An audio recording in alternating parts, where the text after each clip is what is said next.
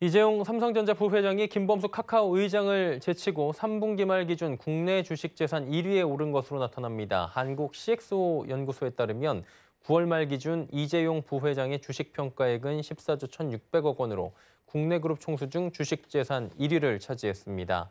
지난 2분기 국내 주식 부자 서열 1위에 올랐던 김범수 카카오 의장의 주식 평가액은 12조 5,700억 원으로 3개월 사이 5조 원이 증발하며 3위로 내려앉았습니다.